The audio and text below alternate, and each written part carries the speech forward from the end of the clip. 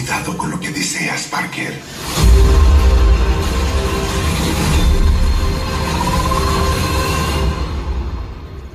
Hola, Peter.